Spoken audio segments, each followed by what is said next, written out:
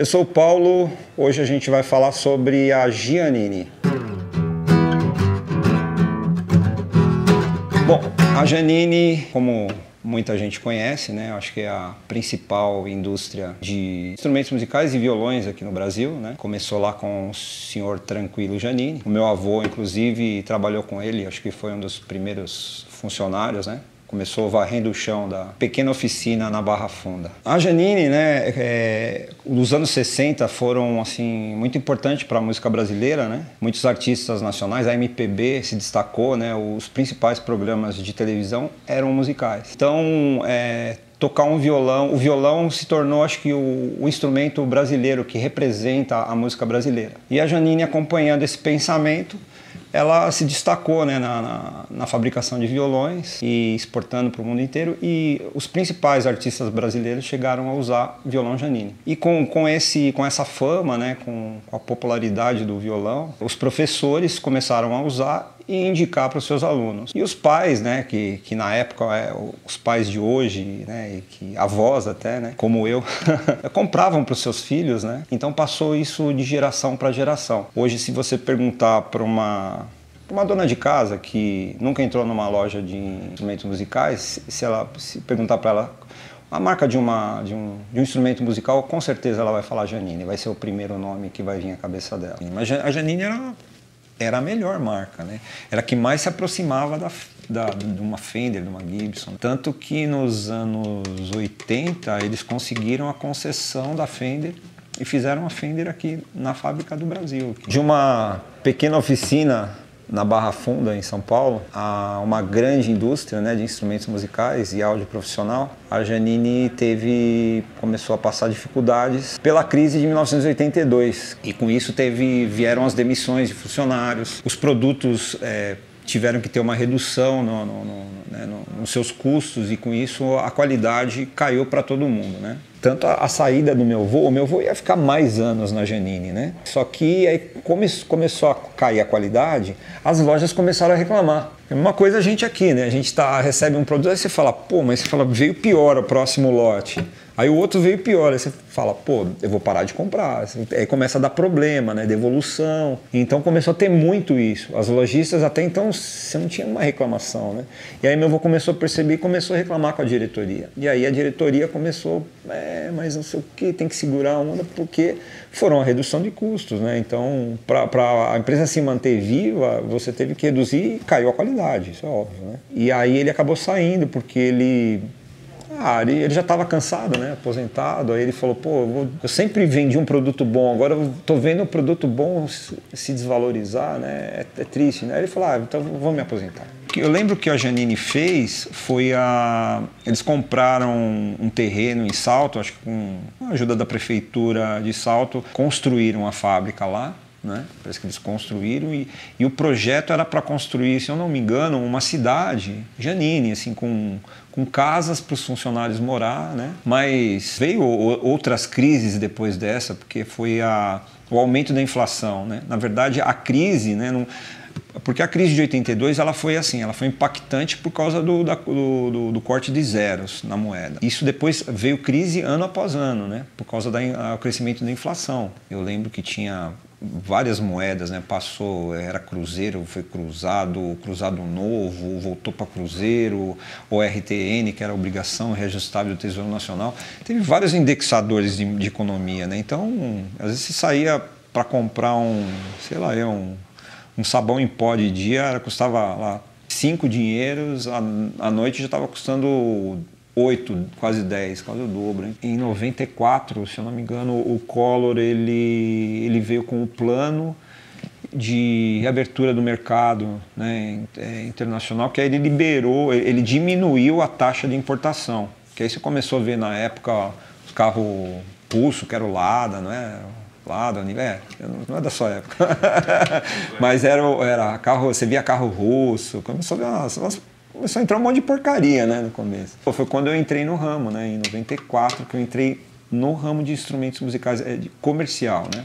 E aí a Janine sofreu outra vez por causa da, da, entrada dos produtos americanos, porque nessa época o dólar era um para um, um praticamente. Então era mil dólares, era mil reais. né? E o preço ficou muito próximo do preço de um produto nacional, né? De uma guitarra Janine, né? E aí a Janine passou dificuldade. E aí ela passou também, ela teve que tomar uma, acho que uma uma decisão difícil que foi fabricar produto Janine na China, né? É o que todo mundo estava fazendo. E, e, o chinês na época é, era ruim, né? Não, você não porque tinha coreano. Aí começou a vir os importados americano, europeu. E, e eu, não, eu não sei nessa fase de transição como é que foi da mudança.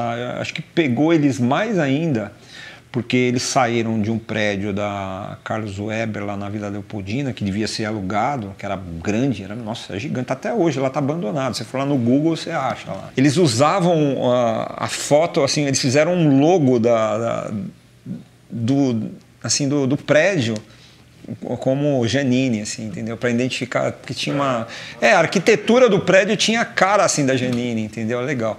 Mas é, acho que como devia ser alugado, eles, eles compraram esse terreno na, em Salto e com isenção de impostos, tal, e que, que montaram a indústria lá com casa para funcionário e tal, mas aí a crise acho que pegou eles no meio do caminho, sabe? Compraram e aí veio, acho que a, a inflação comeu solta e a fábrica continuou, mudou tudo para lá, teve uma modernização e tal.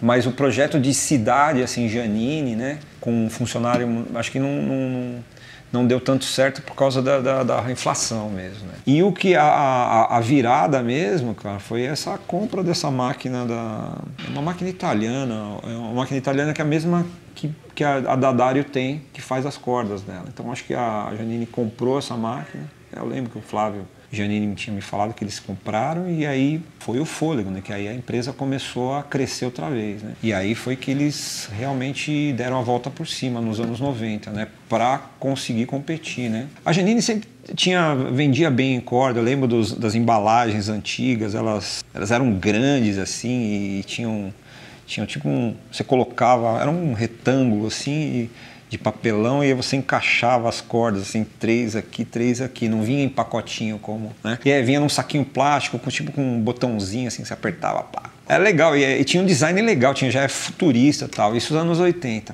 E a Janine começou a fazer, e isso deu um fôlego, porque o violão você pode não comprar, você, você tem um violão, você fala, ah, vou ficar com esse aqui mesmo. Mas se você tem um violão, você tem que trocar corda. Então corda é fundamental. E, e isso foi uma coisa que eles que impulsionou demais a, as vendas para eles, até mesmo para instrumentos, porque você não vende só uma coisa, né?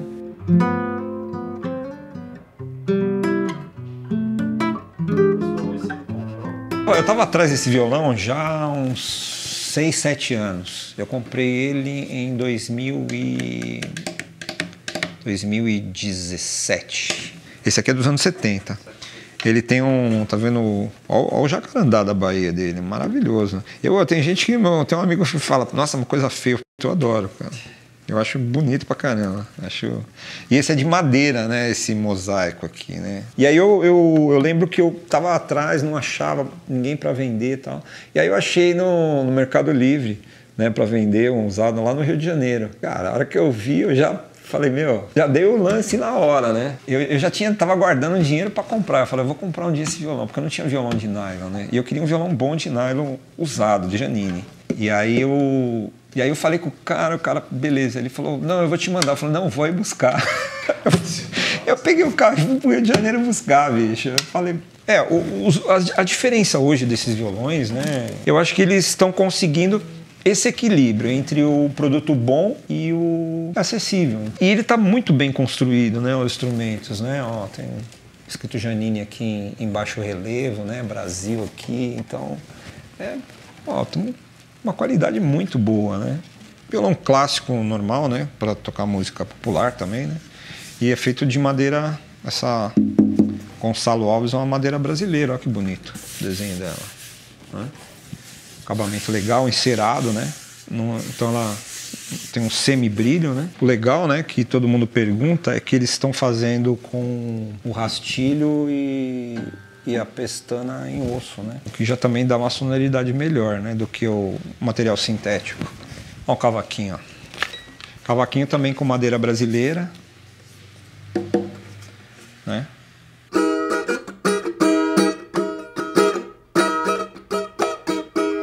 Olha que bonito o, o ó. Pô, bem bonito. esse bandolim. Olha isso aqui. Ó que legal, ó, embuia, ó. Ó que, que desenho bonito, ó. O violãozinho também aqui, ó, que vende bastante, que é os violões flat.